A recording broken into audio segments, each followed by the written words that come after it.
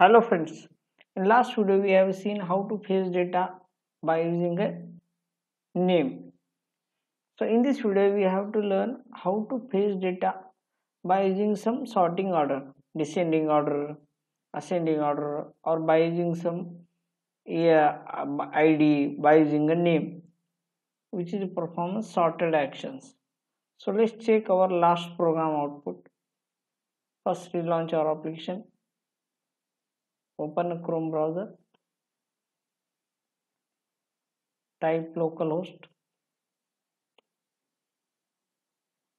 And here you have to write name i give akshay so this is the record of in database.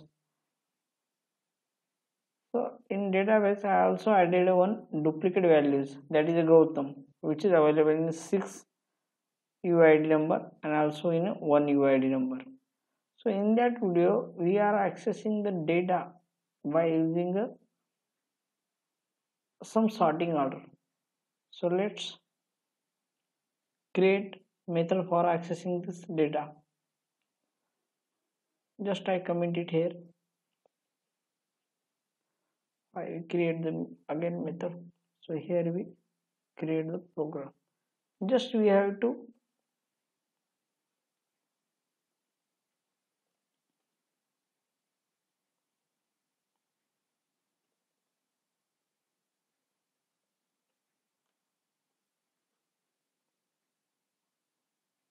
only here we have to create the method name. So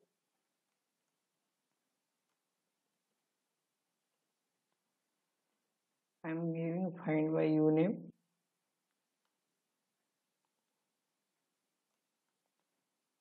order by.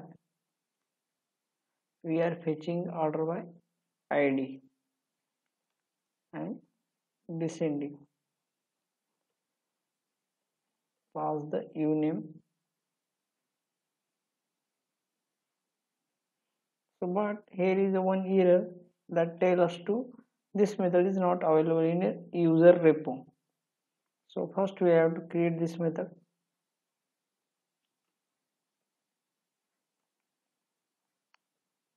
That is a user type.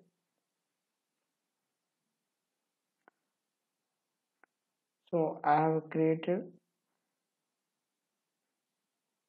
one repo find by uname ordered by descending method. So let's relaunch our application and check is this working or not? Open a chrome browser. Just refresh and select it here. So i give as a gautam so here you can see the output first is the six number six sixth row output and here is the one one number output. That is Gautam which is similar record. So same we can give as ascending also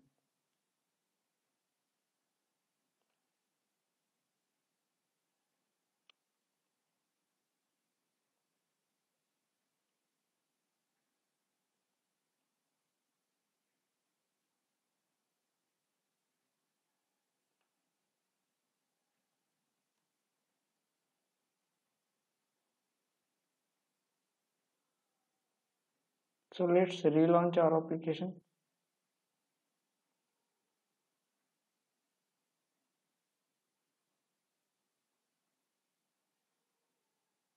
Open chrome browser. Refresh it. So type gautam. And here you can see the output in ascending order which is uid1 gautam and uid6 is gautam so once recap our program i have added in model attribute i have added a report find by uname ordered by uid which is ascending. Here you can perform the descending also. This naming convention is important here. And we have created this method in user repository class.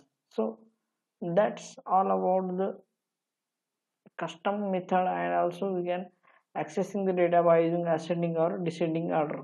So you can play with this program and you can access the data and modify the records which you want. And that's that is the output of this program. So thank you for watching this video